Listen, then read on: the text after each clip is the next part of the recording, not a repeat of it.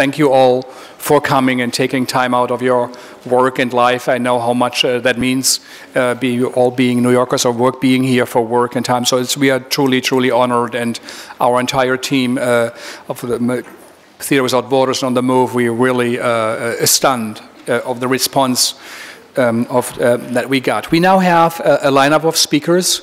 Um, it is, of course, um, not fair to ask any one of these uh, great workers to just give their entire history in five minutes.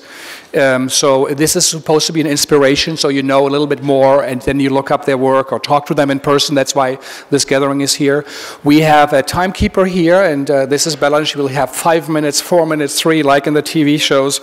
We don't have the music at the end, but close to. So I apologize upfront if, to any speaker um, if it is over time. But again, um, now we are going to hear hear from uh, one of the world's best uh, practitioners and institutions, and they will tell us about their experience, how their work started, what they're doing now, what they are thinking about, and give us some examples. And they are from around the world, and we are truly uh, uh, thankful that people really came, traveled in from Africa, Asia, and from Europe for this conference to speak for you for five minutes and uh, to also be part of a larger network. And again, please talk to them, approach them, look up their work, and maybe there's something inspiring for you, or maybe some of what you will say will inspire um, others. The world, as we know, is so closely connected and globally connected, and uh, this is also celebrating the work and, uh, and the art, the role it plays. So I would like to uh, start uh, Olga Garay um, to come uh, up first and speak about uh, the United States. Thank you.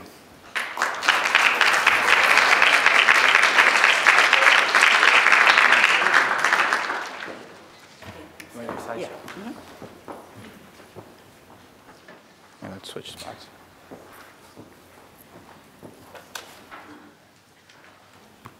This one right here. And to move it, what do I have to It's do? this one right here. It's this clicker here. Okay. It's this one right here, right? It's, yeah.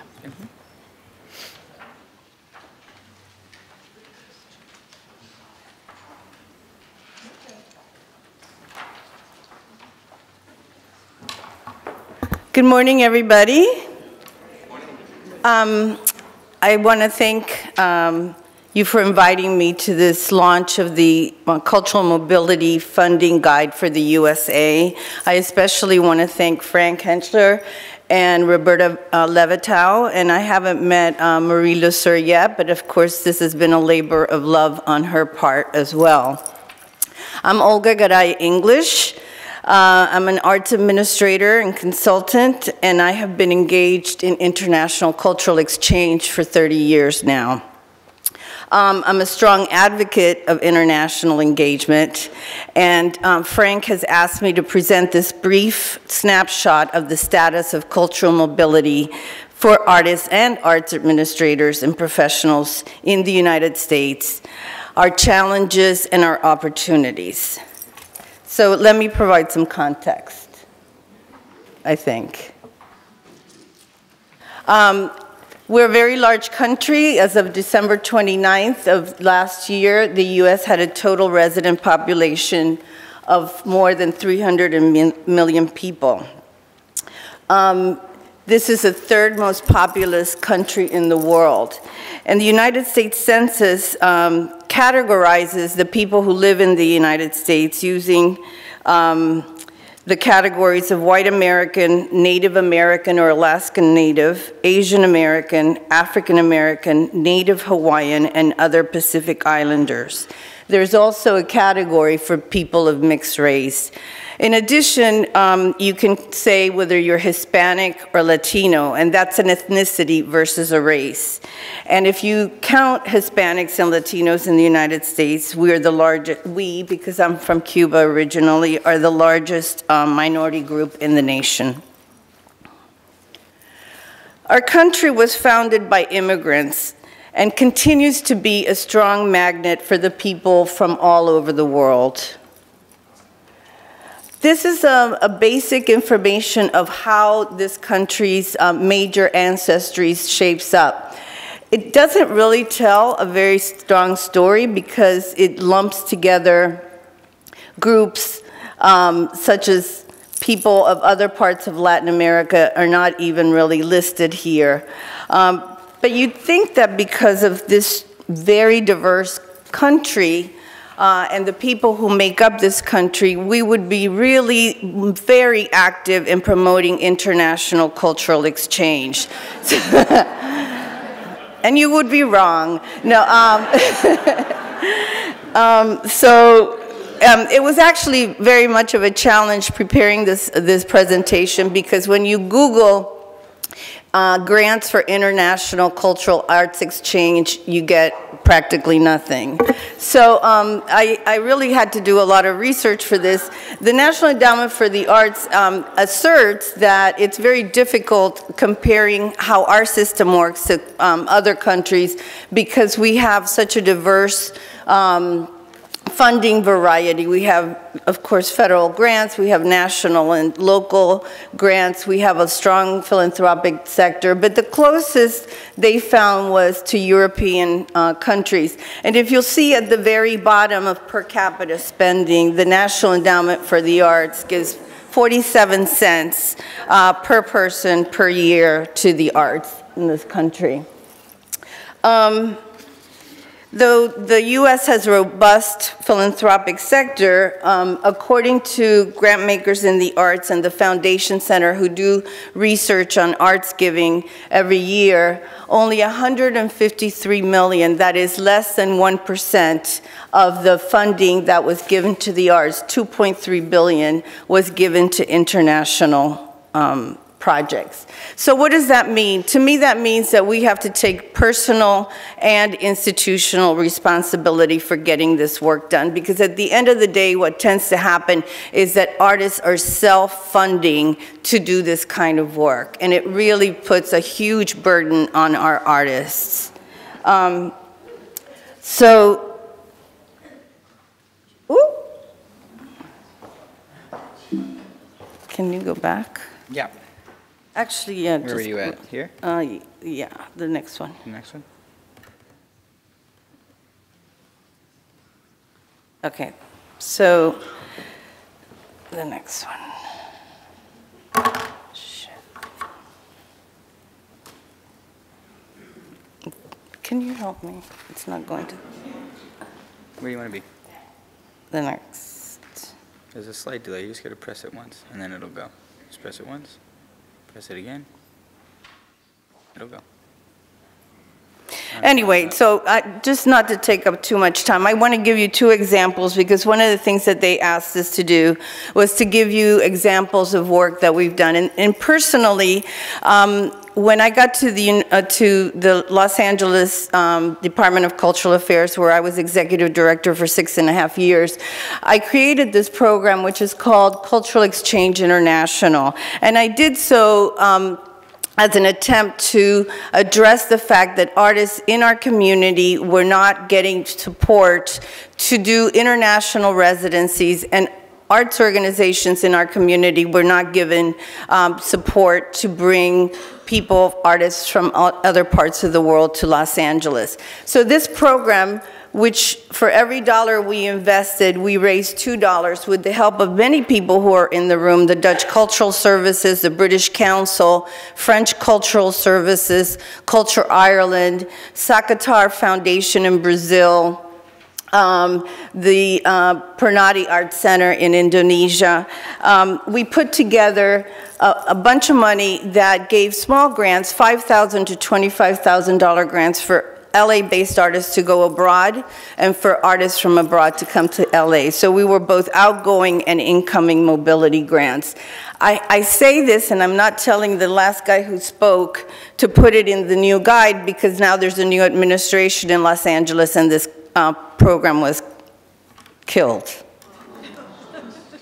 Um, and then lastly, I just want to talk about institutional responsibility. And basically, this is a new program which I'm working on that the California Institute of the Arts is um, launched uh, very recently. Uh, for more than 40 years, CalArts has been working to train artists and arts professionals.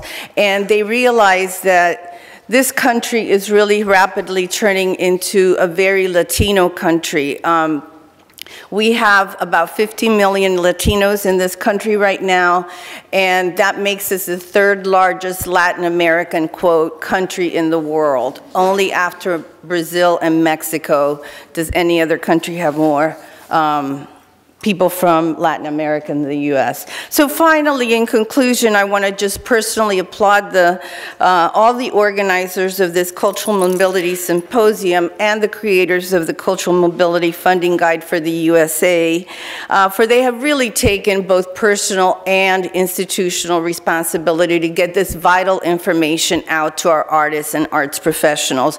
And I want to just say that I want to recommit my own efforts to making this kind of work visible, possible, fundable, and really part of the DNA of how artists can get their work done. Thank you.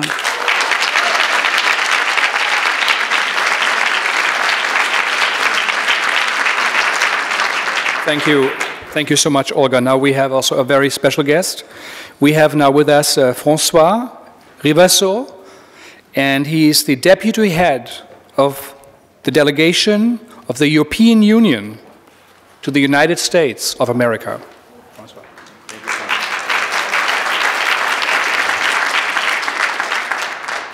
Good morning.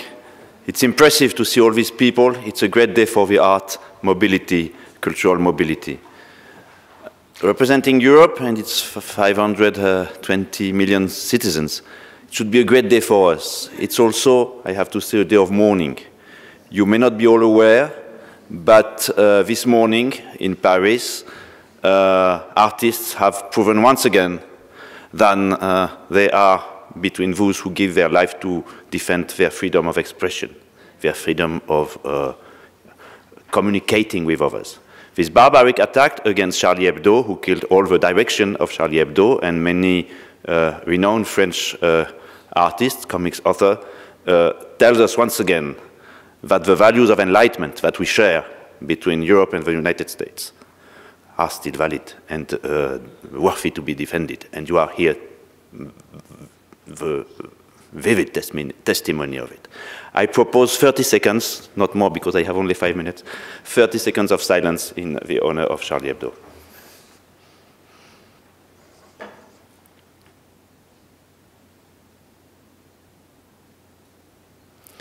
Thank you. Uh, we are uh, here with you for the first time because it's only last year that the European Union has decided that some money had to be invested in uh, promoting the European culture abroad. What's the European culture? Uh, I have tried to uh, work on it. I've made a number of interventions about it. Uh, but basically, I think there's not a unique definition of it. Uh, that's, the that's the culture of member states, plus maybe what we have all in common, uh, which is basically seen from the United States uh, Enlightenment, precisely. Uh, but uh, the important thing for you is that we are willing to, to, to try to develop uh, our contribution to cultural mobility. And we do that without direct funding as a delegation. The funding is still Brussels-based. Uh, we hope that it will uh, uh, that uh, Brussels will take into account the efforts of a day like this. Uh, this I say that for on the move in particular because it's very important. Uh, we we are here to try to develop this action. So we need you. We are a newborn entity. We have two, two branches. First, we coordinate the action of the 28 member states in the United States in cultural affairs. So we are trying to provide them an extra layer of uh, uh, help and subsidies. Uh, this will start progressively. And for that, we have the uh, European cultural attaché, Constance Whiteside, who is here. And then we, we have no special funding scheme, as I said, so uh, US-like, we try to uh, develop a US funding scheme, uh, which is uh, to um, encourage strong level creation of a foundation. So we are very happy to uh, uh, introduce also to you Kimberly Heverington, who is the new director of this newborn, three months old, European American Cultural Foundation. It's still based in Washington. It's still a newborn, so you will just see uh, her uh, website. We shall just use two minutes uh, video to, to introduce it. They will stay with you all the day. Please contact them. Uh, European Cultural Foundation is still uh, already managing uh, some programs Washington-based, between them the EuroKid Festival, which is the biggest European artistic uh, kid festival outside of Europe, and the European Open uh, Day, uh, which is the biggest European cultural foundation with uh, 100,000 visitors in Washington. Uh, that's uh, just a start. We need artists to fill our advisory boards. Uh, we need specialists to, to fill our funding boards. so I stop here because of time and I just ask maybe you to, to present the Cultural Foundation now. Yep.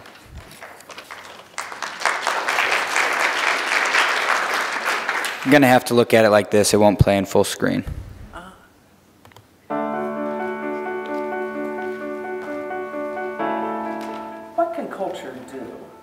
It isn't just a question, it's also the answer to something essential, something fundamental about human existence and expression. Culture can change minds, culture can change hearts, culture can change perspectives, and that's what makes culture such a powerful medium for global understanding. This is the philosophy at the core of the newly created European American Cultural Foundation, a U.S. 501c3 nonprofit founded in 2013 to strengthen cultural bonds and collaboration between the European Union and the United States. Programs of the EACF, presented in conjunction with the delegation of the European Union to the United States and its 28 member states, not only reinforce this relationship, they bring it vividly to life through performing arts festivals, special events, lectures, and other forms of cultural cooperation and exchange. What can culture do? Culture can bring hundreds of free, high-quality, and imaginative performances to children and their parents. Inaugurated in 2008, Kids Euro Festival is the largest children's performing arts festival of its kind in the United States, truly a trip to Europe with no passport required. Each of the 28 European Union member states annually participate, sending to DC accomplished EU performing artists for children to present more than 150 free events in schools, theaters, libraries, and even hospitals, all in collaboration with American organizations. What can culture do? Culture can vividly demonstrate the EU motto, unity and diversity, during the European Month of Culture. The authentic cultural vibrancy of all 28 EU member states combines in an energetic tapestry with each day of May offering at least one or more art exhibit, dance performance, film screening, lecture, or conference, almost 100 in all, at venues all over Washington. It's a fitting and accessible celebration of the month during which the EU was founded and of Washington's own International Cultural Awareness Month. What can culture do? Culture can make the abstract concrete with the welcoming hospitality of EU Open House Day. On EU Open House Day, each of the European Union's 28 member states and the EU delegation open their embassy or the residence of their ambassador to the public Visitors can taste, talk, and tour. Taste native dishes, talk to embassy officials and their staff, and tour cultural exhibits. It's quite possibly the largest EU outreach program outside of Europe, with over 100,000 visits taking place in just six hours. What can culture do? Culture can show us that we're not so very different after all, through Euronight, an evening of cultural sharing. On Euronight, the EU member states gather together, often dressed in native costume, to offer visitors food and drink, inviting travel brochures, and to be entertained by a slate of on-stage European artists. It's one of Washington's most popular special events, and one of its most diverse. Euro Night is a one-night chance to tour Europe, and an average of 1,500 make the journey each year. What can culture do?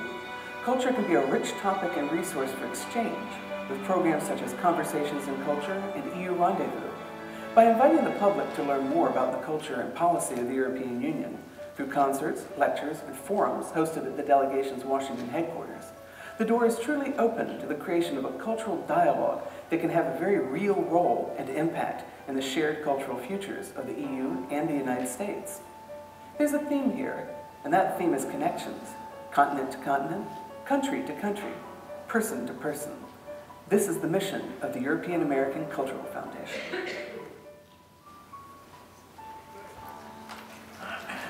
And needless to say, we have some experience in visa also because of that. Thank you very much.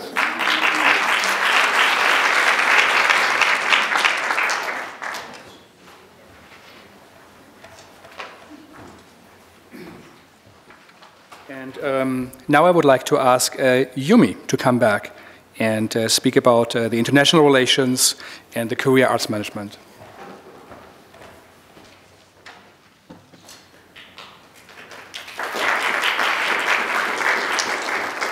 Is yours Asian Cultural Council? I know that. One of these? This one? This one? No, it's that one. No? Yeah, so we already copied it. Nope, I don't have it. Do you have it on a USB somewhere? We don't have it on here. I already copied it. And maybe it's not there anymore. I don't know why. Do you have it on a USB? Do you want to get it? One second, folks. This is what teching 15 slideshows and a coffee break from all around the world looks like.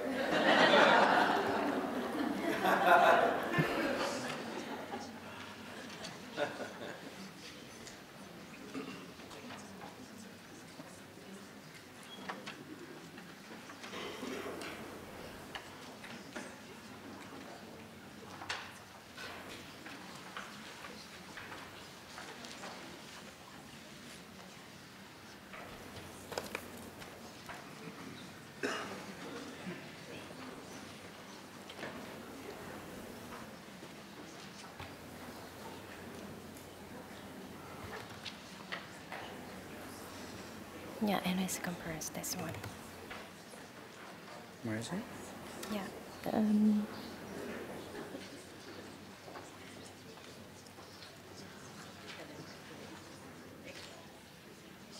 yeah, it is this one. And This then one? see, yeah.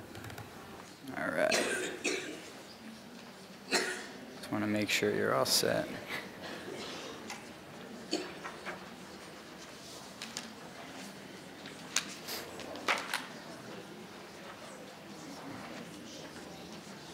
Nope. It in I don't think that'll change anything. Yeah, it what is it? doesn't work. Yeah. I think you're just gonna have to improvise. Yeah, it's an, uh, it's not a the document doesn't open up. I really, I already tried check it before. It doesn't open up. Are you sure this is the one here? It's not another one of these? Uh, I have my laptop. Can it? No. I don't know. I think you're just gonna have to, to talk because we because there's only a limited amount of time.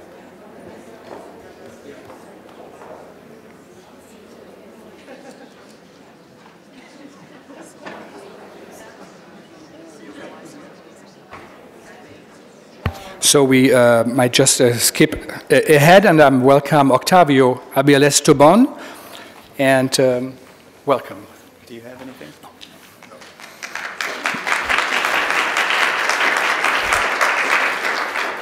Eh, good morning. Eh, voy a usar la vieja tecnología de comunicarme con palabras. Like he said, he's going to use the old technology of communicating with words.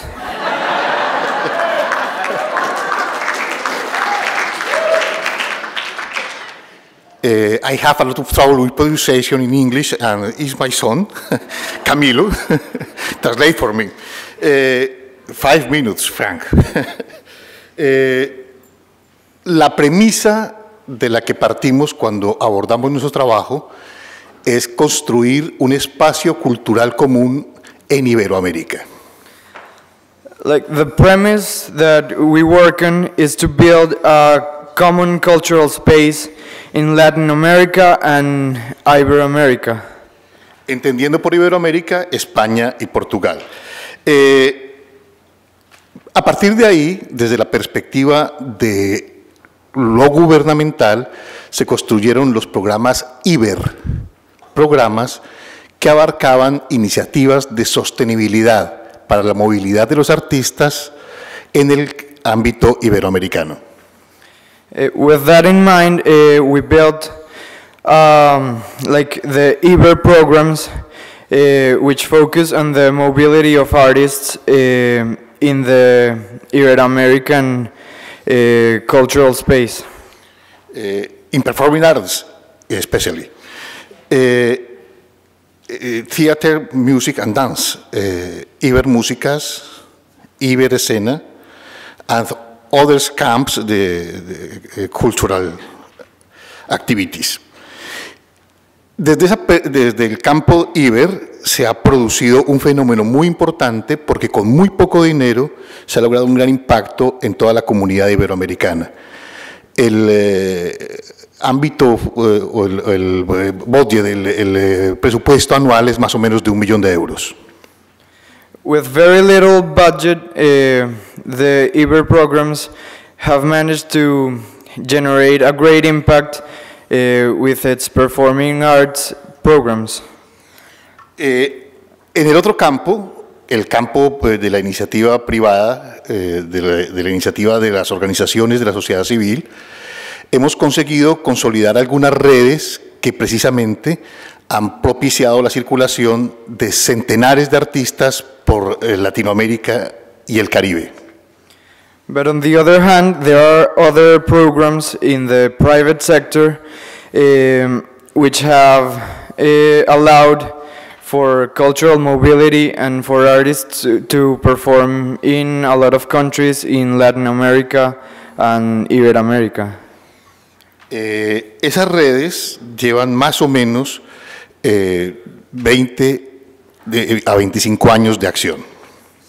And those networks have been working for 20 or 25 years.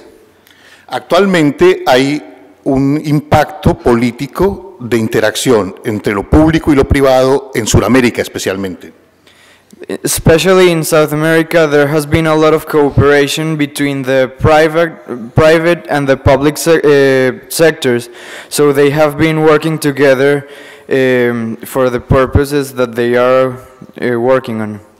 Y en particular se han propiciado mercados culturales para servir de plataforma a la circulación de los artistas. And one of the most important um events that we use are the music markets, uh, which allow for the mobility of artists uh, throughout Latin America and the world. Es- destaco especialmente eh, MICSUR, el mercado de las industrias culturales de Sudamérica, que tuvo una primera edición en Mar del Plata, Argentina. Uh, the most important one of them is MICSUR, which had its first edition in Mar del Plata, Argentina, and it will be taking place uh, periodically. El año próximo, es decir, en el año 2016, la sede será Bogotá, Colombia. The next next year, in 2016, the uh, the city that will host it will be Bogotá in Colombia.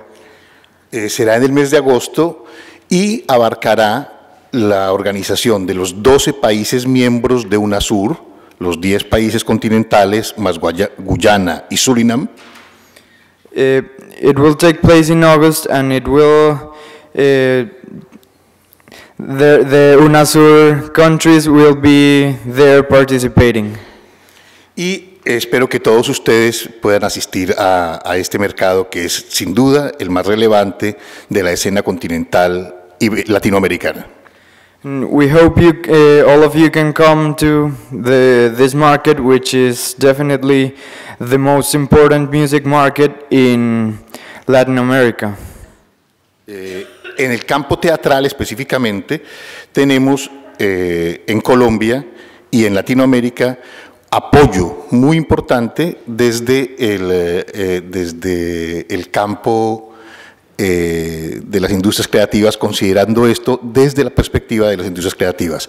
Les doy las gracias, cumplo con mis cinco minutos rigurosamente y para evitar que mi colega esté.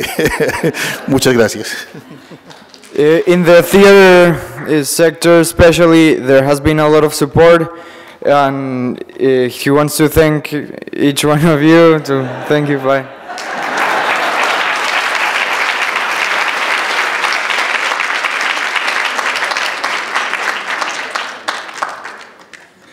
So um, now I would like to introduce a playwright uh, and the executive director of African Arts Institute from uh, South Africa who flew in for us, uh, Mike van Graan. Thank you.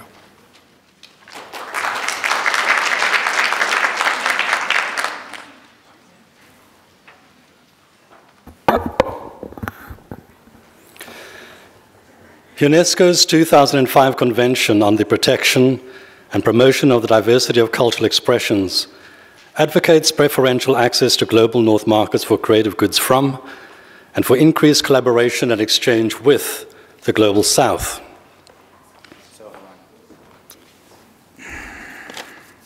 I was just told right now that this is not yours.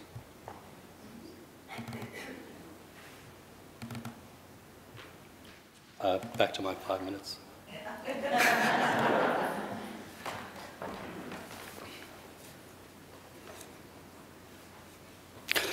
With Africa's share of the global creative economy at less than 1%, this convention is potentially catalytic for African artists as it encourages their greater mobility and that of their creative goods. Yet while it is relatively inexpensive to export books, DVDs, and CDs, it is more challenging to tour performing arts companies that require flights, accommodation, fees, per diems, and of course, visas. Although two thirds of Africa's 54 countries have signed up to the convention, few of these see the economic, political, social, or human development value of supporting the mobility of the artists or the creative industries generally, especially when mining and telecommunications are driving growth of 4 to 11 percent for most African countries anyway. With 50% of Africans living below the poverty line of $2 per day, it is unlikely that there are markets in most countries to support the touring of African performing artists, so that most festivals and other stages on the continent are dependent on international funding to survive. It is against this background that Arterial Network emerged in 2007, a civil society network of artists, creative practitioners, and cultural activists. Rather than depend on governments to support the sector, Arterial Network's rationale is to build partnerships between creative practitioners on the continent and to work with regional and international agencies to, in pursuit of their agenda, including the mobility of African artists. There are four key challenges related to the mobility of African artists. First, rising national chauvinism and anti-immigration parties linked in part to economic recession in the global north limits the mobility of African artists who struggle to obtain visas. Secondly, in a post 9 11 world, security in the global north trumps the need for cultural diversity. Those regarded as other or as potential security threats encounter travel restrictions. Ignorance is a third factor, so that when there's an outbreak of a life threatening disease in one part of Africa, all Africans may be deemed undesirable. Finally, with the lack of political will from African governments, cultural mobility, dependent on international funding, is subject to global north recessionary conditions and shifting donor priorities. So it was that Art Moves Africa, an African Mobility Fund, was unable to operate for more than a year before receiving European donor funding. Despite these challenges, African artists travel globally tour the world and are engaged in cultural exchanges and collaborations. But because these are often funded mostly by Global North resources, inherent in such international exchanges are unspoken but real and unequal power relations manifested in a range of ways, including aesthetic choices. In closing, the African Arts Institute, AFI, which once coordinated Arterial Network and both are independent entities now, seeks in a modest way to contribute to cultural mobility and the building of regional markets as advocated by the 2005 UNESCO Convention. On a monthly basis, we screen movies made by African filmmakers, host dance parties featuring African music, and invite theatre makers, writers, and filmmakers to participate in South African festivals to project them into local and international markets. Ultimately, though, Cultural mobility has to be engaged with through advocacy, through networking, and resource mobilization. Accordingly, we are currently in the process of helping to facilitate a global South network of creative practitioners from Asia, Latin America, Africa, the Arab world, Caribbean, and Pacific to assert a policy agenda from within these areas to facilitate South South cultural exchange and to mobilize greater resources from within these regions. This is a photograph of the team that attended the preparatory meeting in Cape Town, including people from the Arab Fund for Arts and Culture, the Asia European Foundation, and Arterial Network. It is imperative that in addressing cultural mobility issues, that structural inequalities that impact on mobility are addressed at the same time. Thank you.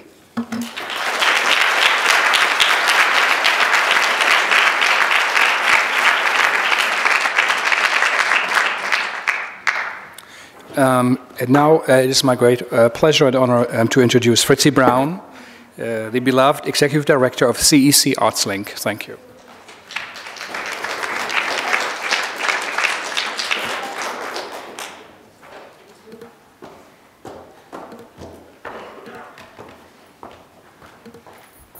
Hello. Shall I wait? Yeah, is this you? That's me. Do you have it? This, this is all good for you? I guess so. Mm. I want to thank Roberta, Frank, and Murray for, and their staffs, their hardworking staffs, uh, for setting up this important symposium and for inviting me. Um, and for also inviting this wide international uh, range of participants. I am Fritzie Brown. I direct CEC ArtsLink, uh, which is located here in New York. Uh, it's an organization that's been active. How do I commence the show? Oh, I'm not sure what I've got here. Okay. Um, we've been active since uh, the Cold War, but in 1992 we focused on arts exchange and currently support exchanges with three countries uh, in Eastern, um, 37 countries, I beg your pardon, in Eastern Europe, Russia, Central Asia, and the Eastern Mediterranean. Uh, the, though the Cold War has long passed, we believe it benefits everyone when artists have access to work internationally. We are not a foundation. We do not have an endowment, and each year we must raise our small budget, a million dollars, uh, from zero. This money comes from private foundations, um, private individuals, and a small amount is coming from, and this will be, 2015 will be the last year of National Endowment for the Arts funding. Uh, any petitioning or advocating anyone wants to do to turn that around would be greatly appreciated. Uh, to achieve our program, to achieve our uh, mission, uh, we have a number of projects, uh, both East uh, and West cultural exchanges. Um, Probably the best known are our ArtsLink Awards, and it's comprised of three interconnected areas. I feel like a grease monkey of practicality after your really enlightened speech. Thank you. Um, we have the residencies, which funds U.S. arts organizations uh, to host uh, visiting fellows from any of the 37 eligible countries for five week professional stays. It's for artists and arts managers of all disciplines, though we alternate disciplines each year. Uh, we cover international travel costs associated with their visits and underwrite a three day, uh, two three day stays in New York City before sending them off on their residencies throughout the United States. Um, fellows apply online and are selected by peer panel review um, here in New York of uh, professionals, ugh, professionals um, in the US. Uh, we have so far hosted 499 fellows in the US, and they've been uh, taken care of and included into the matrix of 276 arts organizations throughout uh, 35 US states. We have reciprocally uh, ArtsLink projects, which US uh, artists apply uh, to participate in projects in any of the eligible countries. Um, uh, since its inception, we have put $2 million to that aim, and I believe there are uh, recipients of that, those grants among the audience today. Um, we also have a small project, very small pool of money for independent projects. It was created as a follow-on pool for ArtsLink residents for return projects in the U.S and we funded ooh, about a half a million dollars in those. We're a very small organization. We have only three people in our New York office. We have a small uh, office in St. Petersburg, Russia, and that helps us very much in uh, facilitating uh, facilitating projects in Central Central Asia. And we will be conducting, with the support of the State Department, a two-year music education um, uh, enterprise with uh, musicians in Central Asia. So our website is www.cecartslink.org, and my door is always open. So thank you very, very much.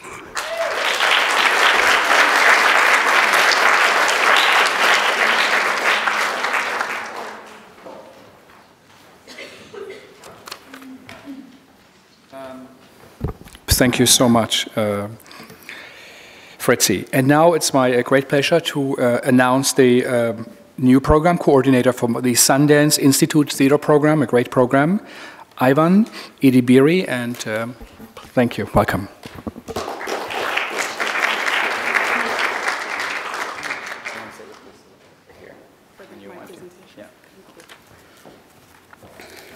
Good morning, everyone. My name is Iyvon Edebiri, and I'm the new producing coordinator at the Sundance Institute Theater Program. And I work with artistic director Philip Himberg and producing director Christopher Hibma, who unfortunately cannot be here as they are attending a swearing-in ceremony for the new ambassador for New Zealand to the United States, who is a friend and cultural ally of theirs. So Sundance Institute um, was founded in 1981 by actor and director Robert Redford, whose mission was to support and develop new works by inspiring new and independent artists. And so currently Sundance provides support for artists in the fields of film, theater, film composing, and digital media.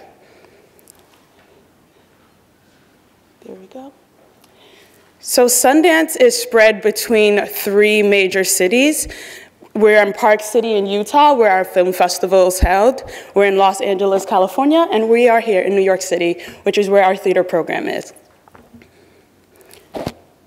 Today, Sundance employs about 150 people in total, and we in, in the entirety of the Institute, we end up supporting about 24 regional labs and workshops, and we support and mentor about 350 artists each year. Upcoming for Sundance is our world-renowned film festival, which happens at the end of January in Park City, Utah. Now, specifically for the theater program, our theater program currently has five full-time staff members, and we support six annual labs and retreats around, um, around the United States and internationally. Our focus is on new play development, in which we give artists the time and the space to develop their new works and to excavate and take risks while they're, develop, while they're developing whatever they see fit to develop.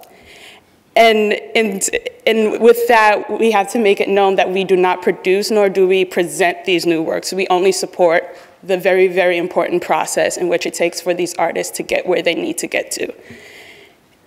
So each year we end up supporting 11 new plays and musicals and serve more than 175 artists during this process. So actors, dramaturgs, stage managers, directors, composers, everyone in between for the creative process.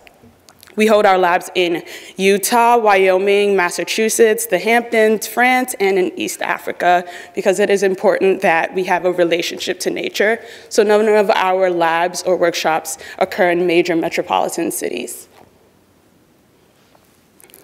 Sundance has been focused on branching out internationally, and the last 13, actually 14 years now, the theater program has been involved in deep peer-to-peer -peer intercultural engagement in six East African countries and is now expanding that initiative to the Middle East North Africa region.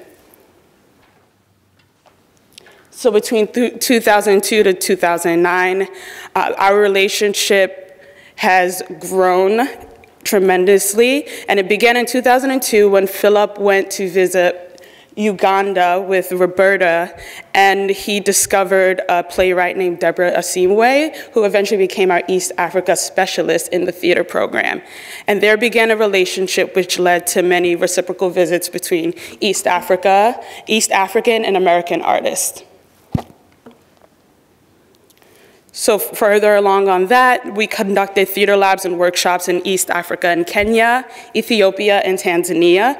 And in turn, our East African alumni have participate, participated and developed works in our theater lab in Utah, and they have had exposure visits in New York. Now looking ahead, we are very proud of our alumni as Deborah, who was our East African specialist, just co-produced the first Kampala International Theater Festival, which will hopefully continue next year. And it was developed in part through Sundance's funding, but it was all through the East African artists getting together and continuing the relationships that they fostered through the Sundance Theater Labs. This is a picture of Deborah. She's beautiful. Here's a picture of uh, a picture at our lab in Manda in Kenya. Here's a staff photo. Christopher and Philip are there, hanging out and having fun. And as I mentioned earlier, Sundance Theater program, we're now focusing on the MENA region, specifically Arab language theater. And so both Philip and Christopher have taken several research trips to the area to find local artists with new and interesting work to bring to light internationally and domestically in America. Our excuse me, our goal is to have a lab in the MENA region by 2016, so next year, yay. And if you have more, if you have any other questions or would like to contact us and check us out, our website is www.sundance.org slash theater. And also feel free to reach out to me. Thank you so much.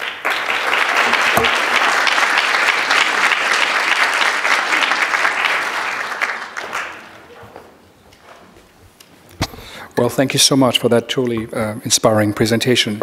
And now I would like to introduce Miki Hotta, who is the Program Director of Arts and Cultural Exchange, the Japan Foundation.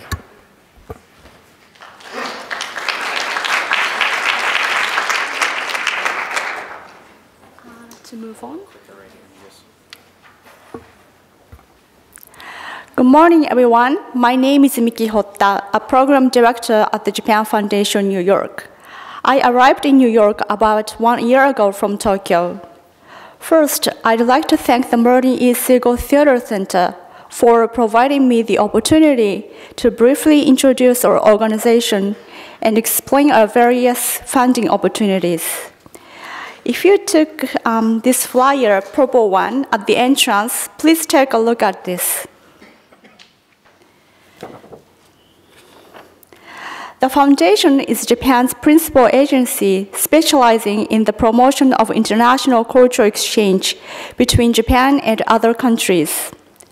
It was established in 1972 as a special legal entity supervised by the Ministry of Foreign Affairs. Our head office, is, head office is in Tokyo, and there are 22 overseas offices in 21 countries. We have three major fields of activity, as shown here. You may be asking yourselves, what kind of funding opportunities does the Japan Foundation offer? Um, we have main um, three grant programs. Well, actually, I skipped one. Sorry. Um, Today, I will focus just on arts and cultural exchange, uh, which includes performing arts.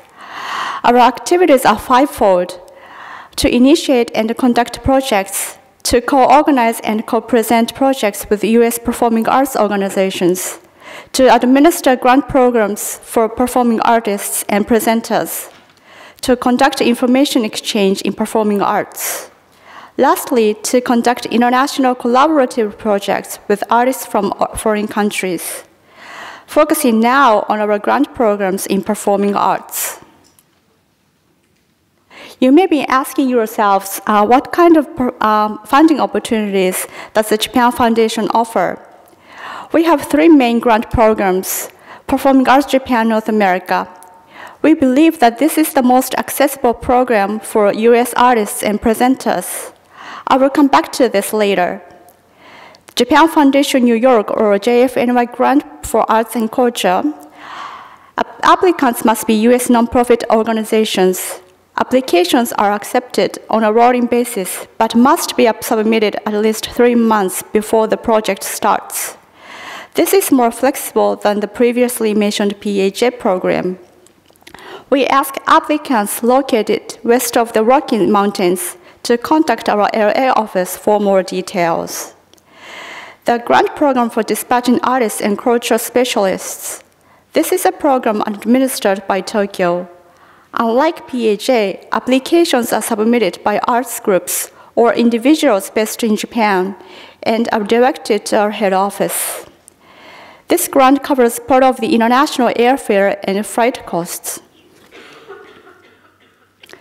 Now, I'd like to come back and talk about PAJA in more detail. This program aims to introduce Japanese performing arts to local US audiences. There are two categories touring and collaboration. Touring grants support Japanese performing arts at multiple locations in the US and Canada. We welcome proposals that bring Japanese artists to locations where there is little or no regular exposure to Japanese performing arts. Collaboration grants, however, support American and Japanese artists so that they may together develop a new work which furthers appreciation of Japanese culture when presented to American audiences. This program is open to nonprofit organizations in the US and Canada. Grants are made on a cost-sharing basis, and JF can cover up to 50% of the total project costs. The deadline is in autumn annually. To date, PAJA has funded 253 projects. A list of past awardees can be found on our website. For more information, please visit our website. If you have any questions, please feel free to contact us. Thank you for listening.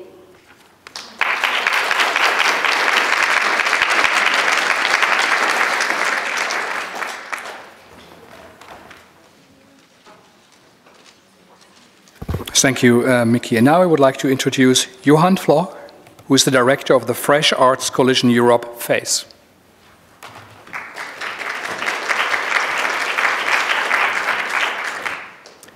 Hello, thank you. I might, I might not be able to, to even go through these five minutes because I'm losing my voice. I'm very happy to be here with you. Um,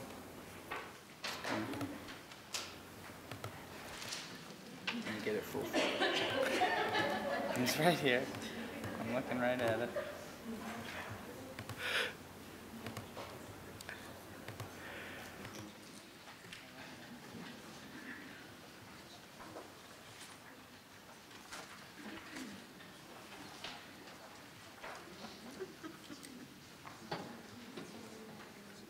Should I start? Yeah, go for it. Okay. So, um, FACE Network. Uh, oh, great.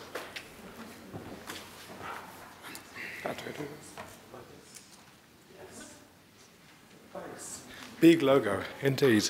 Um, so FACE is uh, uh, standing for Fresh Arts Coalition Europe. It's a um, young organization um, based in Paris, France, and uh, dedicated to uh, uh, hybrid art form, pluridisciplinary work. It's um, a network um, uh, really focusing on, on hybrid practices and all these um, performances that we have so much difficulties to put in just one box. And I guess many people in the room know what I'm talking about. So we cover a lot of different practices, of course, um, physical theater, visual theater, contemporary puppetry, but also public art, site-specific work, many other uh, uh, artistic disciplines. The um, network gathers uh, 45 members from 21 countries. Most of the um, uh, members are based in Europe, but we have members in the US, in Canada, and in Australia too. Um, what's interesting in this network is that we gather organizations that have very different profiles. Some are, of course, venue theaters, some are uh, festivals, some are creation centers only, but we have also funders, we have uh, magazines, and the purpose of the network is really to, to gather uh, uh, different profiles and propose them not only to network, but really to participate in collaboration and make sure that the collaboration are transversal. So not only to uh, gather a club of festivals uh, or club of artists and make them uh, work together, but uh, to design and help and support the, the, the future collaboration that will put together in the same room all journalists, but also artists and festival festival directors and funders. Um, of course, um, um, just a picture of our, uh, uh, we are based in Carreau du Temple, a brand new venue in, in Paris. Uh, very happy about these premises, to be honest. Um, so of course, uh, as a network, and, and this is, uh, and, and, being an independent network uh, with a very small office and uh, in a very uh, similar situation as uh, On the Move, with, with whom we're working a lot with, um, the, um, the key principle is to really increase or get as much as benefit as possible for our members. Um, we want all our activities to be relevant for them. We want them to engage in these activities. We want them to cooperate produce, co-design, co whatever with the, all these uh, all these uh, activities we propose. Uh, the activities are um, um, classical. It could be seminar, it could be workshops. Uh, we try to push them, to encourage them to really connect with arts organizations that are really far from their comfort zone and far from their country or home base. So we try to build small bridges or big bridges sometimes with uh, other continents. Um, in these uh, in these multiple and uh, varied activities, I will just focus on one, which is uh, uh one that is uh, uh, very interesting in terms of international collaboration and in terms of all the mobility opportunities we create, or, or the or mobility program we try to reach to implement these projects. we have an accelerator or incubator. Um, uh, activity and we try to uh, help experiment. So taking the risk for our members to design new projects. Um, as an example at the moment we are try we are experimenting a two-year scheme that took place already in Europe uh, to support residencies for critics and journalists in the framework of uh, contemporary performing arts festivals. And we experimenting these formats in uh, Canada and hopefully one day in Australia. And uh, we are experimenting this in May in Sao Paulo, Brazil. Um, one of the next uh, uh, pilot project we are thinking of is called Steamed Out, and it's a, a, an experiment between Europe and Australia to focus on um, all the um, development uh, phase of artistic project and to uh, include already at the very, very, very beginning of the, the making of new productions, new work, uh, the international dimension. So to make, uh, uh, to give the possibility for artists to uh, have an international experience already very early in the dedication process, in the creation process. Um, not much else. I mean, a lot, a lot more to say, but uh, I guess I could invite you to visit our website. It's fresheurope.org, and uh, we will be here all day. And uh, I have the chance to have a delegation of members with me today, and even two board members. So don't hesitate to come and meet us. Thank you very much.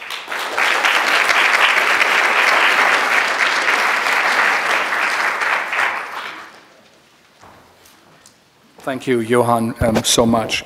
Um, now it's my uh, pleasure to introduce Surafel Wondimu, who is currently at the University of Minnesota studying, but from the Addis Ababa University in Africa.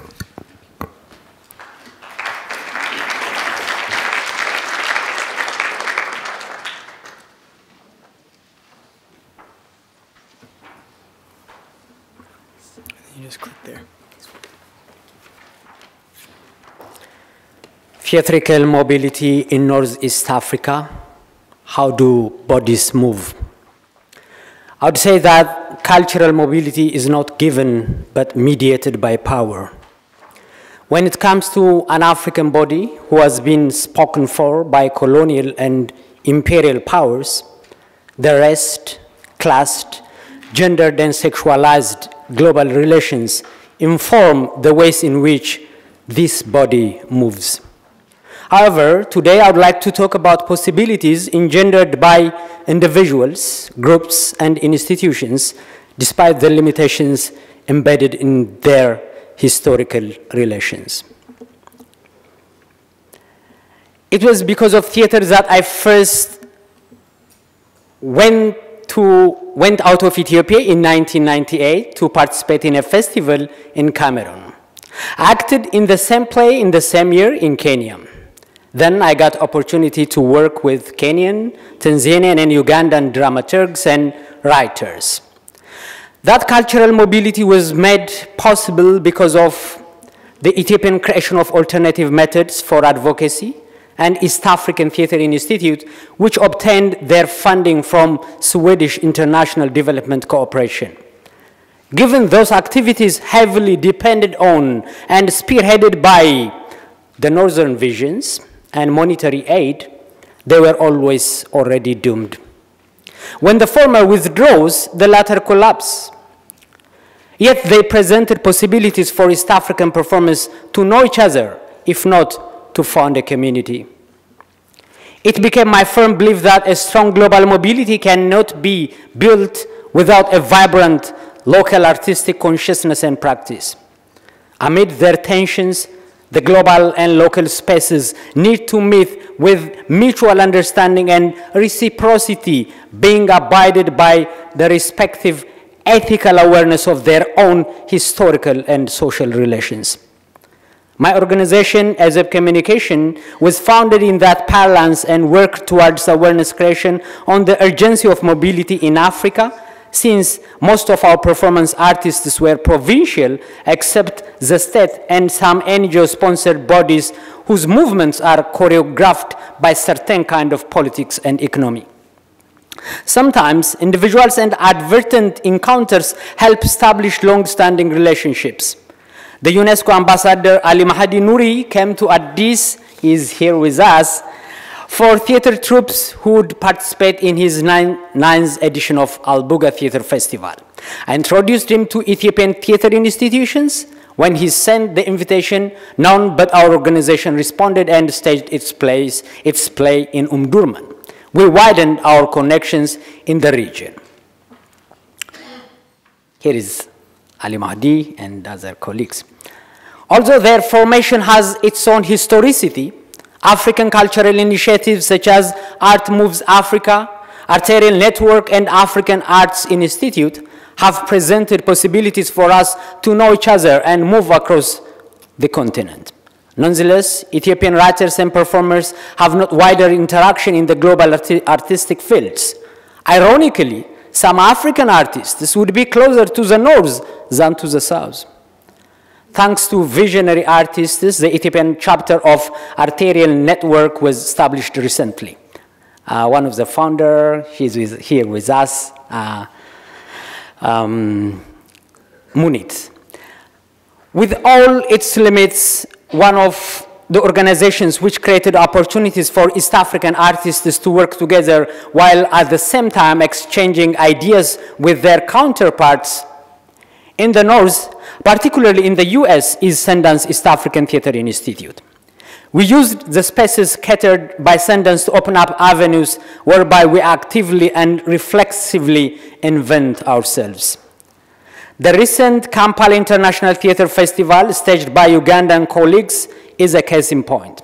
All the Sundance all the Ethiopian alumni, collaborating through our respective organizations, are catering a festival under the rubric Crossing Boundaries, Global Humanities, Northeast African Homes. Grappling with political, economic, and other challenges, we are determined to make the mobility happen in September 24 through 27 in 2015 by inviting performers, intellectuals from Egypt, Sudan, South Sudan, Kenya, Uganda, Somalia, Rwanda, Burundi, Democratic Republic of Congo, Tanzania, South Africa, and other countries. You all are invited. Thank you.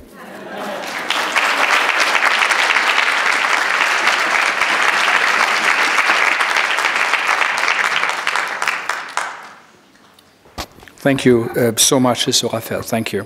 And now I would like to introduce the Elizabeth Hayes, the Executive Director of the FACE Foundation, the French American Cultural Exchange. Thank you.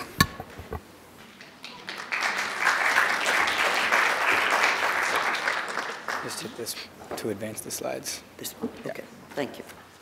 Good morning. I do want to repeat the thanks that have been expressed to all of the people who worked so hard to put this together. And I'd simply like to uh, single out Frank because we've known one another and talked about this subject for so many years. And he is clearly passionate about his commitment because if you look around the room and we are so numerous, I think that in itself is, is an important statement. So thank you to all of you. I'm so thrilled to be able to meet some new people as well. Uh, let's try that. FACE. Isn't it interesting that there are a few organizations called FACE? And I believe another one connected to Finland. And in fact, we are an American 501c3 based in New York, but everything we do has to do with Franco-American cultural activity. So your connection to Paris is particularly charming. Um, FACE is a 501c3. We have a very special relationship that is a partnership and an official partnership with the cultural services of the French Embassy in the United States. The cultural services, as you probably know, are based here in New York. You probably know that for many years they've been doing absolutely remarkable work. And I think that our partnership uh, allows us to do a number of things that, that either of the single institutions would not be able to do. In the last 10, 11 years, FACE has grown from an organization, again, in partnership with the Cultural Services, of four grant programs to now 12, and many special projects, which I think people in this room may know about, such as the theater festival called Act French some years ago, Sounds French that preceded it. Everything that we do has to do with living artists, new and recent work, and um, one thing I do want to point out as I speak about our relationship with the French government, we the uh, Cultural Services obviously is a French government organization. FACE is an American nonprofit. So we have two uh, independent organizations, public and private, working together. I do not think that there are very many other examples. I can't name one. We are so different. We are not uh, we are not active as the Goethe Institute, Cervantes, British Council, and they all do extraordinary work. But the public-private relationship is different. For instance, our status uh, as a nonprofit here in this country allows us to fundraise to take funds in. A government organization obviously is giving funds out when they do, uh, and they do, fortunately, and I think the French are very strong about it. I would like to, you will see the, our areas of activity. We have grant programs. We give our grants to, non, uh, to cultural institutions, to nonprofits, be they in French in France or in this country. So we have contemporary music, jazz, theater, dance, visual arts, several programs in cinema, uh, translation and publication, very special, and also uh, two programs in secondary education and a higher education. Many of those are new in the last 10 years as our collaboration has strengthened and grown. One thing I do like to point out, because it is so important to me, is that, again, the enlightened thinking in, uh, in, in France and of the French government, I'm happy to say, for us in terms of our grant programs, an artist is French if the artist is indeed French or resident of France for five years or more.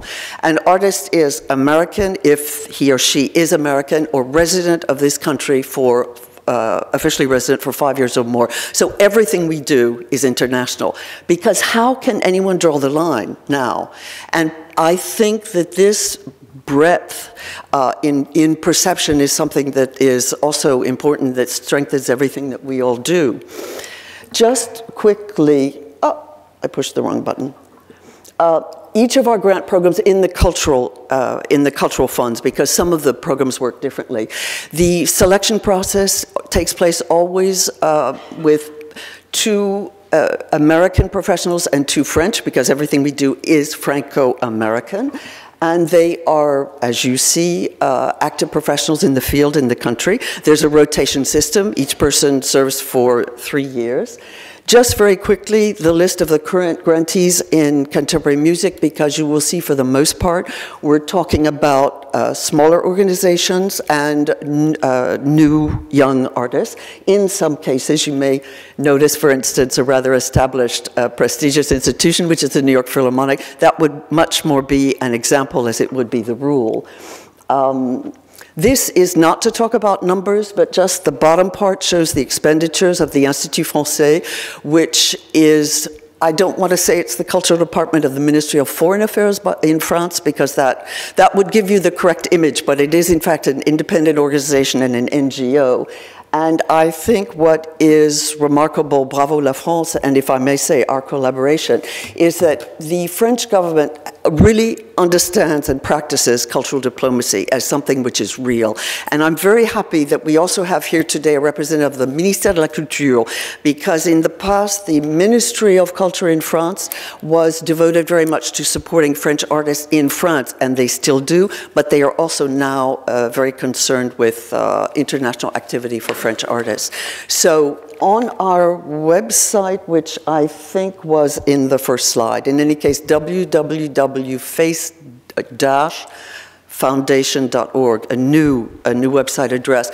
All of the eligibility criteria, the activity, grantees, artistic committees of our programs are listed.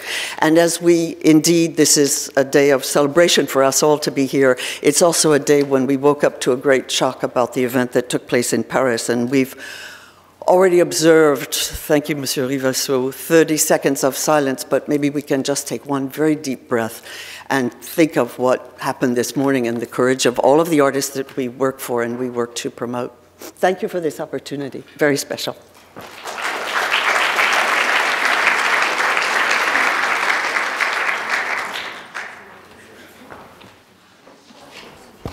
Thank you, um, Elizabeth. Now, we uh, have Zeyba Rahman, who's the uh, Senior Program Officer of the Doris Duke Foundation and the Doris Duke Charitable Foundation. Thank you.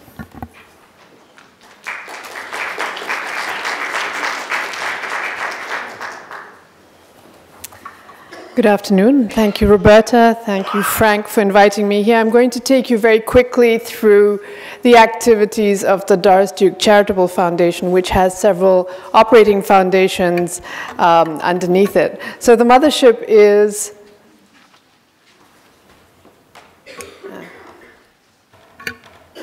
hang on while I get this right.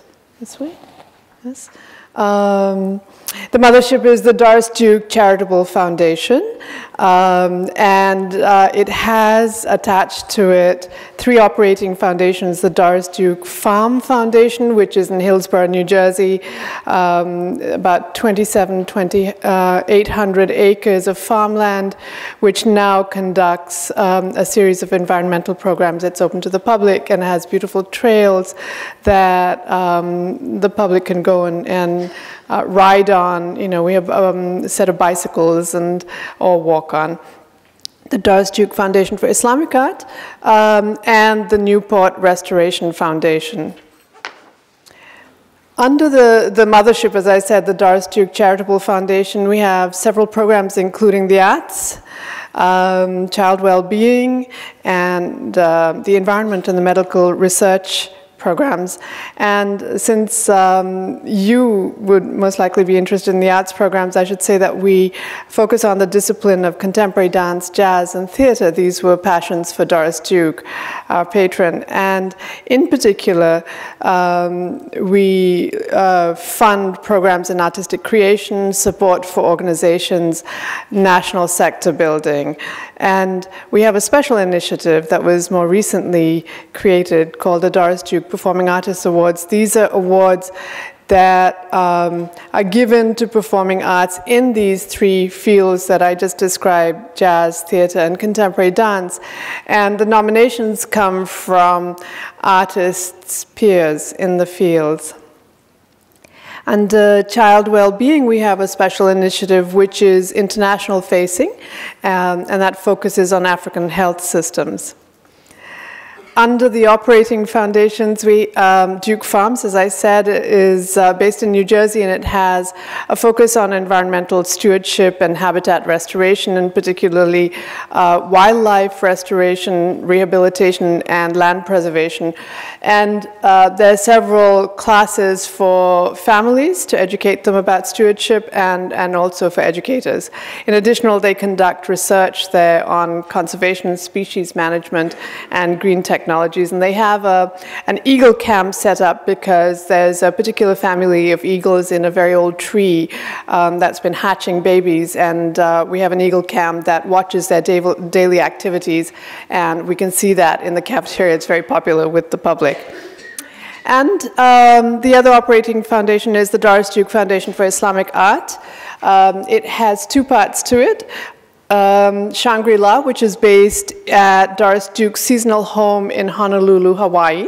It's, um, the house itself is based on Islamic architecture, very beautiful, and it's now a house museum which houses her 2,500 odd collection of museum quality objects. And it's also a study center um, where, uh, with the university, there's a conservation uh, program in addition, there's a residency program for artists and scholars year-round, and um, Shangri-La also hosts convenings for uh, like-minded organizations and groups. The Building Bridges program, which is based here in New York, has a national focus, and it has two programs currently. One is the Association of Performing Arts Presenters managed um, campus community engagement, which targets the millennial population, the campus-based population, and the communities around it, and the in-house managed um, Building Bridges program, which focuses on the performing arts, media, literary arts more broadly, um, a multi-generational population. And finally, um, there is the Newport Restoration Foundation at Rough Point, which was another of Doris's seasonal homes. And that is now a public museum that displays the Duke family's sizable and important European art collection. If you'd like more information about our activities and programs, you can visit all these many websites at your leisure. Um, thank you for having me here.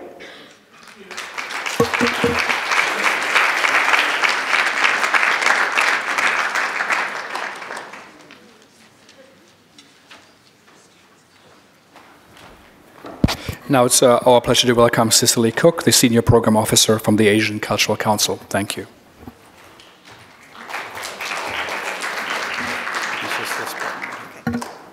Hi, um, as uh, Frank said, I'm Cecily Cook. I'm the Senior Program Officer at the Asian Cultural Council, which is a foundation that's based here in New York, and we have offices in Tokyo, Taipei, Manila, and Hong Kong.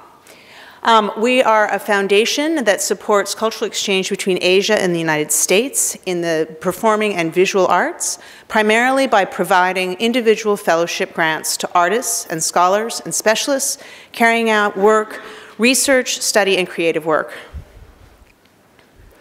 In addition to support for the artists themselves, we believe it's equally important to support the various infrastructures that enable them to do their work. For this reason, we also make fellowship grants to arts administrators, festival managers, curators, programmers, technical theater specialists, and exhibition designers. Serving a geographical range that stretches from Afghanistan through Japan and southward to Indonesia, ACC grants support artists and specialists working in the fields of archaeology, architecture, art history, film, crafts, dance, museology, painting and sculpture, and theater. The ACC supports Asians traveling to the US and among the countries of Asia, and Americans carrying out research and projects in Asia. We also make some grants to organizations to support projects of particular significance to Asian American cultural exchange. The ACC was founded in 1963 as the John D. Rockefeller III Fund. Mr. Rockefeller believed in the supreme worth of the individual and the power of the arts to inspire mutual understanding between nations. Since its inception, the ACC has supported almost 6,000 individual artists participating in cultural exchange activities between the US and Asia. The ACC has always followed a responsive model, not a prescriptive one. As a consequence, the design of each ACC grant has been as unique as its grantee. The ACC support, devotes special attention to arranging programs tailored specifically to the needs and professional objectives of each grantee, advising them on cultural resources, preparing itineraries, scheduling meetings with arts professionals, professionals arranging academic affiliations, and encouraging grantees to explore interdisciplinary relationships among the arts in both Asian and American contexts. As a part of our program, we maintain 10 apartments for our grantees in New York City. and we partner with artist residency programs such as Residency Unlimited, ISCP, the Lower Manhattan Cultural Council, and the Triangle Residency Workshop to provide working space for our visual artists. We also partner with residencies outside of New York City, such as the Headlands Center for the Arts and the 18th Street Arts Center in California. Our grantees in the field of dance often participate in residencies at the American Dance Festival or the Bates Dance Festival. We organize field trips and gatherings at our office to give our grantees the chance to get to know each other. And grantees forge bonds and act as, act as, as a support network for each other. In 2013, the ACC celebrated its 50th anniversary, and we're looking forward to the next 50 years of supporting cultural exchange between Asia and US. And I will conclude, um, I hope under five minutes, um, uh, by, uh, with a quote from a former grantee, um, visual artist from Taipei, who sent me an email yesterday. And he said, and uh, Wu Chi-tsung, and he said, the ACC fellowship is definitely not an interruption in our lives as artists. It's like opening a window for us to survey the world and also like a mirror to reflect and discover ourselves again. Thank you.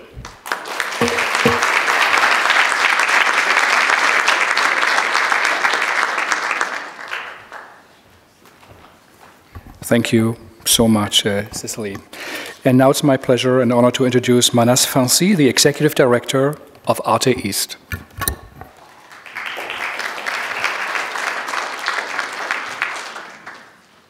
Thank you, Frank. Thank you, Roberta, Marie, Camille, everybody who's organized this. Um, I have a very, very plain, very sad, aesthetically unimpressive, um, my friend, uh, thank you, uh, PowerPoint presentation that I'm going to just talk you guys through and pretend that it's not really there. Thank you. So um, I took over Arte East in 2013, almost two years ago, and inherited this wonderful arts organization that had spent um, over 10 years broadening U.S. exposure to an appreciation of contemporary MENA arts and culture. And um, this meant, you know, hundreds of artists, uh, film programs, artist talks, um, an incredibly rich history. And out of that had emerged a kind of informal function to facilitate a lot of the kind of um, aspects of cultural mobility that were not attended to by anybody else. And so since uh, 2013, we've kind of shifted, and we'll be making a kind of more public statement about this very shortly. But last year we had a conference uh, with the Ford Foundation, which many of you were at, which allowed us to really uh, look very closely at how, what kind of challenges and opportunities really lie for cultural partnership and cultural engagement um, and expanding exchange between the US and the Middle East and North Africa. It's an incredibly diverse and wide geographical space that my institution deals with. Um, there are specific issues and uh, flare-ups from war and refugees and other such problems that make this work of supporting artists and their uh, work all the more important. Um, so moving forward, um, Arte is going to be really a US-based facilitator for expanded cultural mobility for both individual artists and arts organizations from the MENA region in the US, as well as uh, an institution that promotes and uh, supports um, expanded engagement with the philanthropic community. As Olga pointed out, this is an area that we really um, need to continue um, having a conversation about. Um, in our world today, um, we are, what is my time? I'm not even looking at you, thank you. Um, okay, in our world today, we are in an interconnected, global, cosmopolitan, technology-driven, high-speed exchange kind of space, and how do we make sure that the ideas are going back and forth, and as Mike pointed out, like what are the ideas that are coming this way? Who is curating what um, arts and what uh, voices and what messages are coming from those places. So Arte East looks at um, a uh, bringing a, a, modern Arab voice out. And that's one that I, I really believe that the artists should speak for themselves. So the cultural mobility, literally the travel, is a key part of that um, how they experience life in this very uh, tumultuous but also really exciting moment across the Middle East and North Africa is really important for American audiences, American publics, and the American creative community to be more aware of and in dialogue with in whatever means. Um, so um, Essentially, our vision is that we have this thriving and sustainable arts sector in the Middle East and North Africa through this expanded international arts exchange and engagement with a wider uh, range of partners in the cultural and philanthropic community in the US. Um, oh, look, I forgot about this thing. Um, and um, we really address the main challenges through our work. And these challenges uh, or access to information, um, how information, I've been creating a kind of guide as well to the kind of funding access that is available. And it doesn't exist in a proper written down form, and I think it's really exciting that you're starting to do that, and I'd love to contribute, because it's all been very informal and word of mouth. There, are, there isn't uh, an, a full-fledged arts infrastructure to support these artists, and uh, there aren't schools, there aren't, oh, no, I'm sorry, I keep wanting to talk to you directly. Now I understand the reason. Um, I'm sorry, I talk to myself more than I talk to you. Um, all right, so uh, these are the issues that we are most concerned about, how to develop the infrastructure by bringing uh, Middle East artists and art practitioners and administrators um, out here to create more um, opportunities that they can bring back to their communities. Thank you.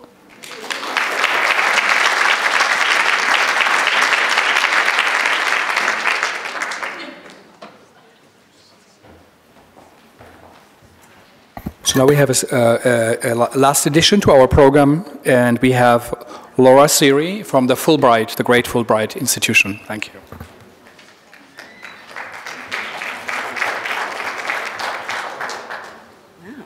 I'm just going to go straight to the website. We can do that. You Hello. Wanna go, you want to go right to the website? Yeah, yeah, yeah. Okay, you go to the website. Perfect. Um, my very limited theater training tells me to speak slowly and from my diaphragm, but uh, my timekeeper has, has other plans here.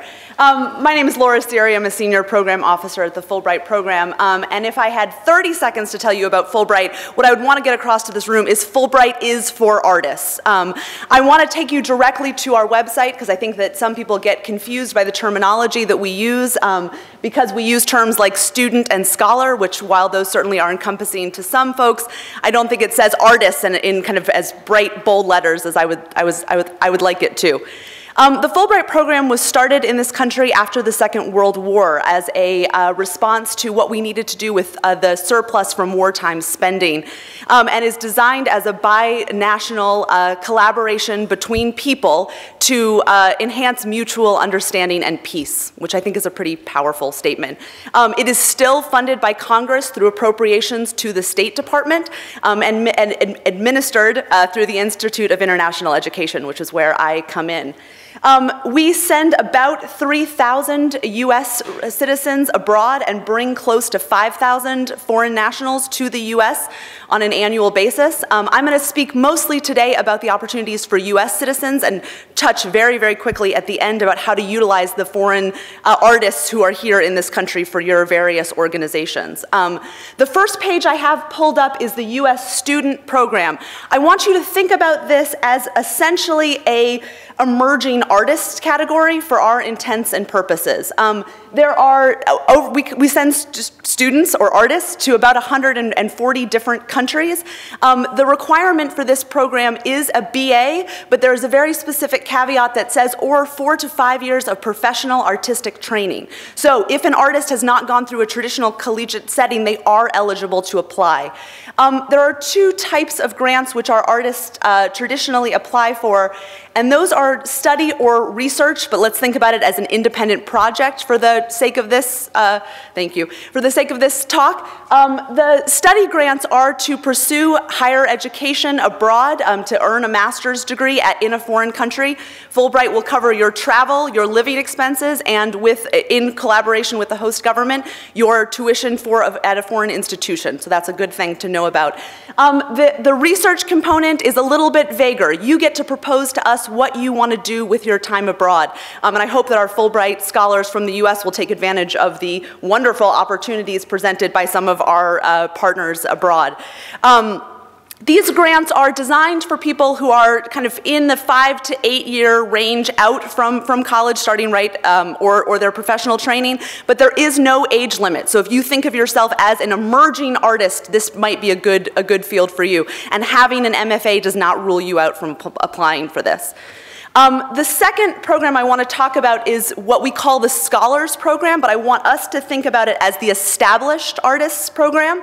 Um, these grants last between 2 and 12 months to go abroad to do a variety of things, um, to teach, to do research, to collaborate, to lecture, to do seminars or workshops. Um, and the criteria you'll first read is about a terminal degree, right? Um, but there's a very specific caveat for artists, and I want to make sure you all are aware of that, that's recognized professional standing and substantial professional accomplishment is what we are looking for um, when people are applying to this, to this program. Um, the, uh, you can tell on our, on our website here there is a um, very extensive lists of grants that are awarded in the catalog of award, and one of the search terms here is the arts. So you can go to the website and immediately pull up by country what countries are looking for artists to come and join their, their roster of, of scholars. So that's a, a good thing to be aware of. Um, the second type of, of, grant that I want to highlight here um, is, and we have some in the room, thank you, uh, is the, oops, nope, is the specialist grant. The way the specialist grant works for, for artists and for anybody is that you apply with a set of skills or expertise that you bring, um, and then you are put on the specialist roster for up to five years.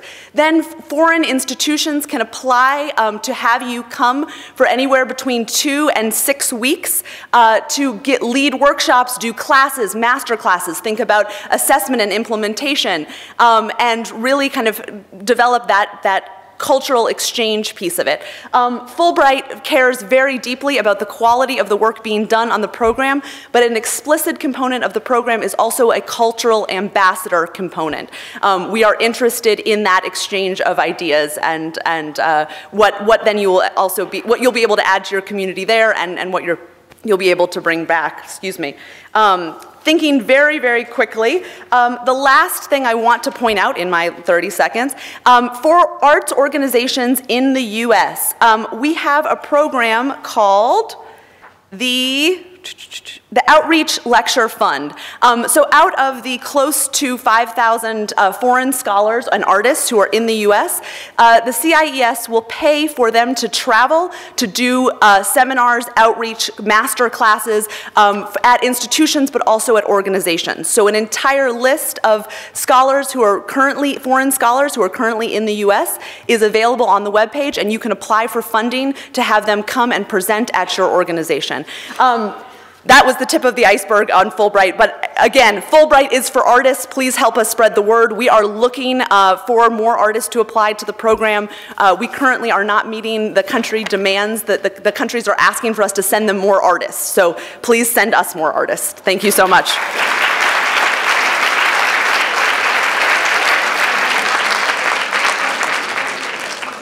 Wonderful. That's uh, one of the more encouraging news. Thank you, um, uh, uh, Laura, for, for joining us. And now I would like to introduce Nan van Houte, the Secretary General of IETM, the International Network for Contemporary Performing Arts. Thank you.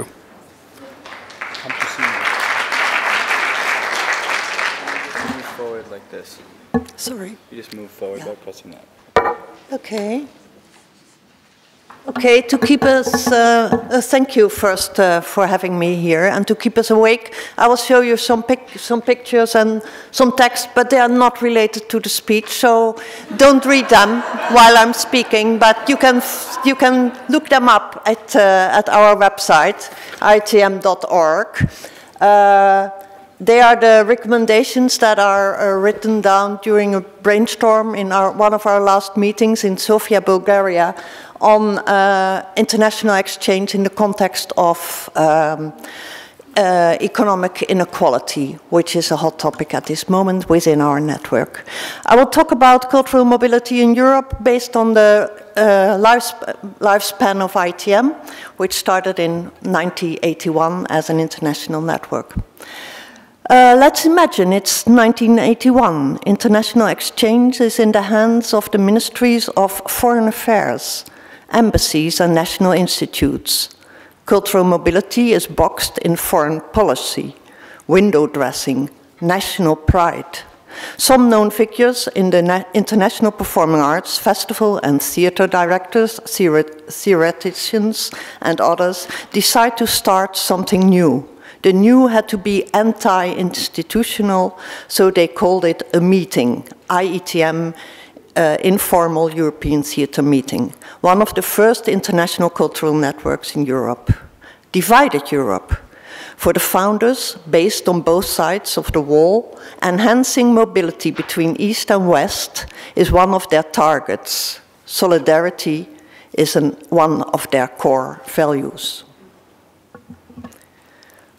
Let's imagine it's 2005. After years of economic growth, flourishing contemporary arts production and increasing audience numbers, ITM has grown into the international network for contemporary performing arts, as it is known now. Its 550 members live for 80% in Europe, the rest in all parts of the world, Europe has grown into a fortress, so Africa and the Arab world are underrepresented due to the visa problems, as we have heard of before. They never arrive in time to visit a meeting. Notwithstanding the digitalization of the most social encounters, meeting live is still at the core of ITM.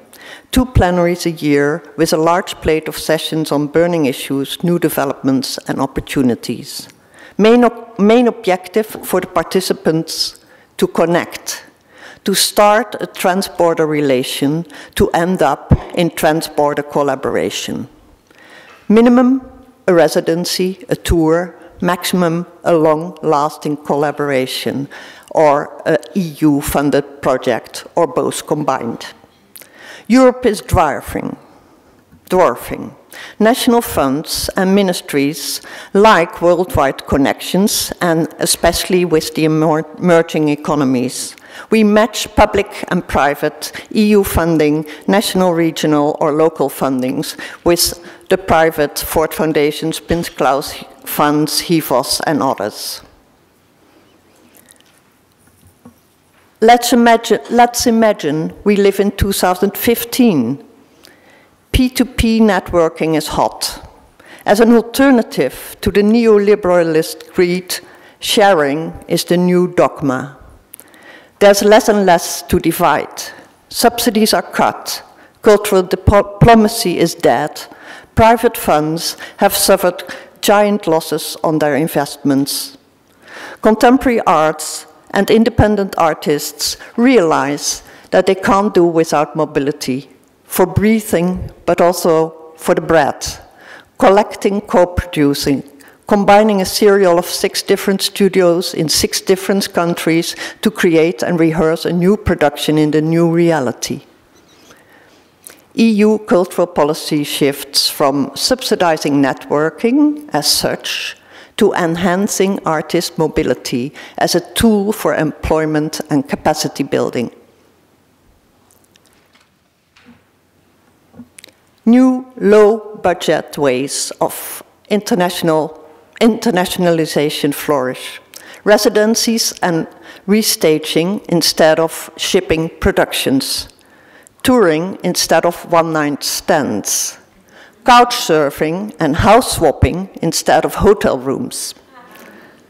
ITM sticks to or even improves its solidarity as a fundament by very democ de democratic membership fee categories and also admits freelancers now, by travel grants for members with a low annual turnover, and by organizing at least one meeting a year in a low-cost host country or a country where artists are under political pressure. And by building facilities to compensate when traveling is impossible, by live streaming, by online documentation, reports of meetings, research and call, calls for partners, and offers for funding on its digital platform that will be built in during the uh, oncoming year. So please um, check our website and keep updated, ietm.org.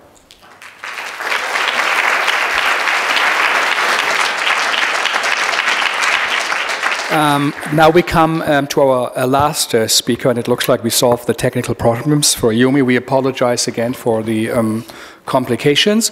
After this speaker, we're going to have a very short uh, session about the workshops, where, where we go where, and then we will have lunch.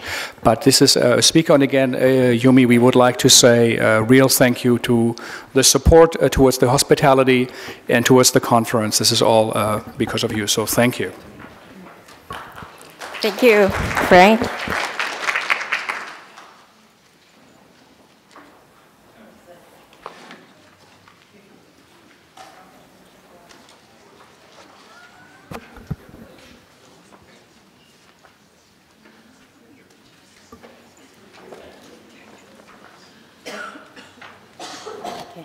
Yeah, finally, thank you.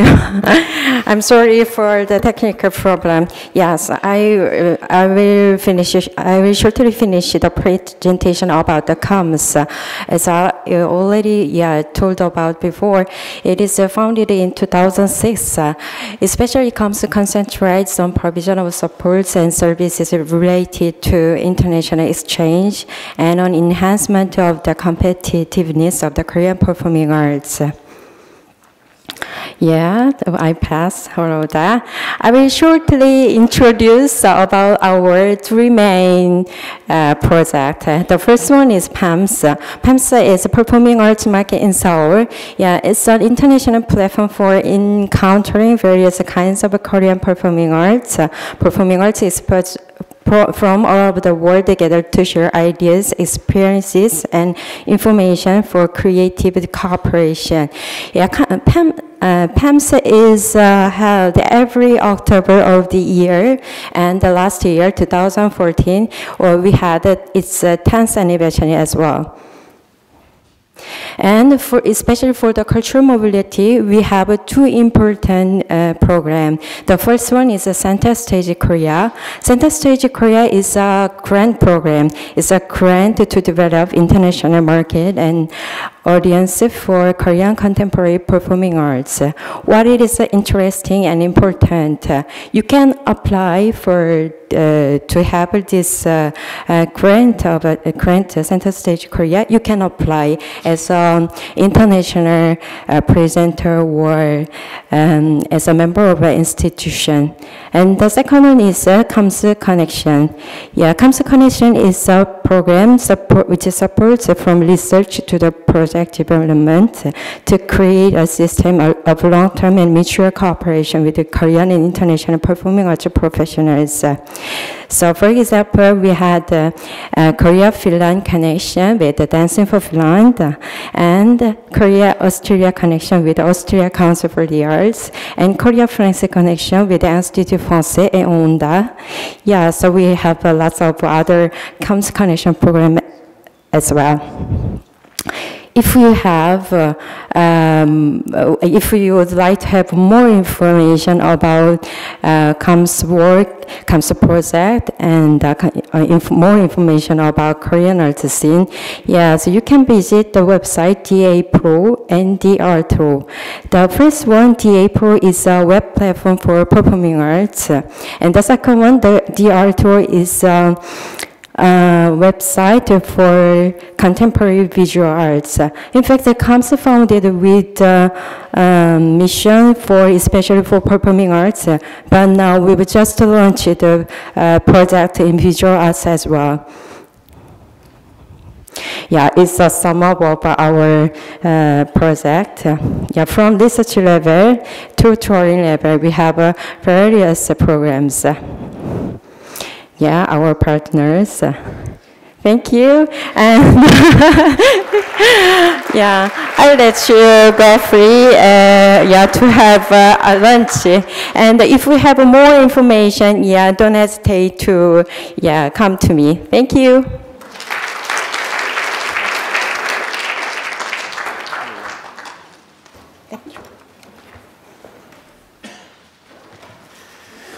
Hello, it's us again. Before, uh, before we release you for your lunch, uh, we want to tell you a little bit about what's going to happen this afternoon, which is a slightly different format. Uh, as we move into uh, deeper discussions on particular topics that relate to uh, international exchange and collaboration. So our idea for this afternoon is that you will select one of the seven group offerings that you can see listed in your program. They're all described in a paragraph in your program. And um, most of the rooms that they take place in are right out here outside across the, the lobby. Um, but there are two rooms that are on the third floor for two of the meetings. So there'll be volunteers to help you find those rooms if you decide that you're in that group.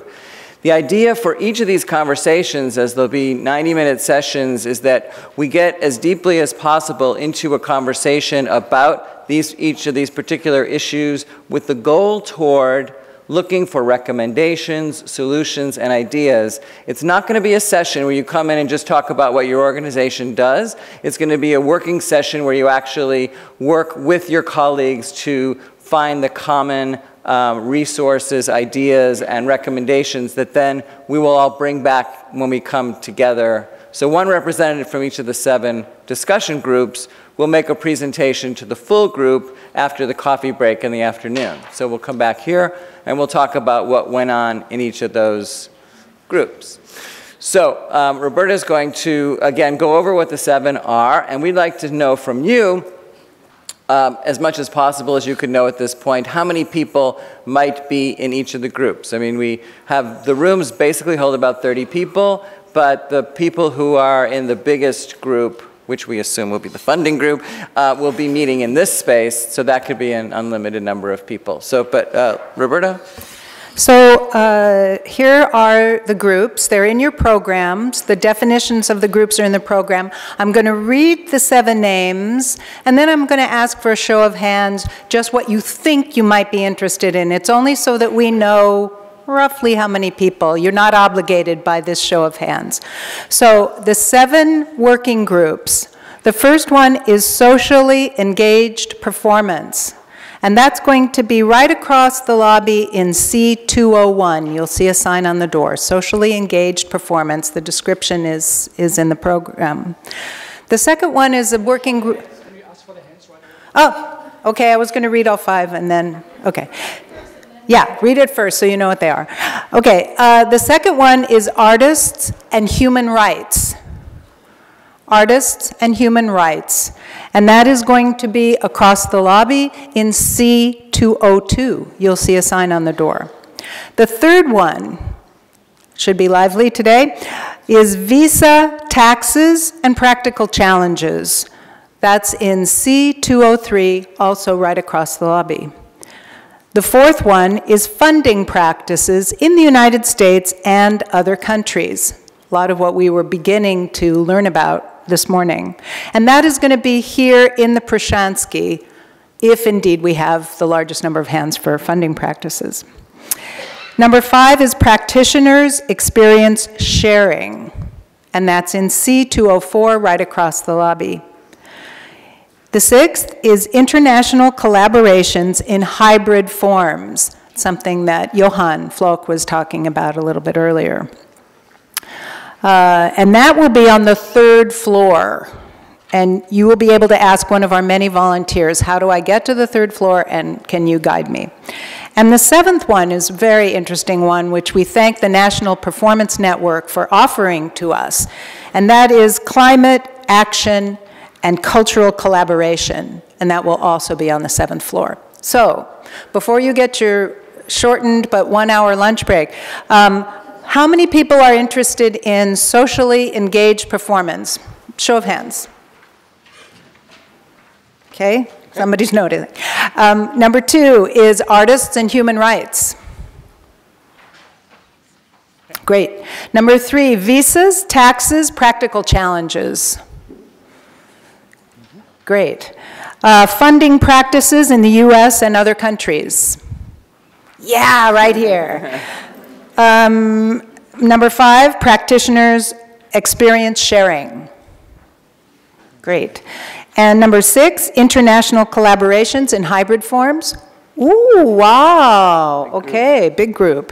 That's good to know. And number seven, climate action and cultural collaboration.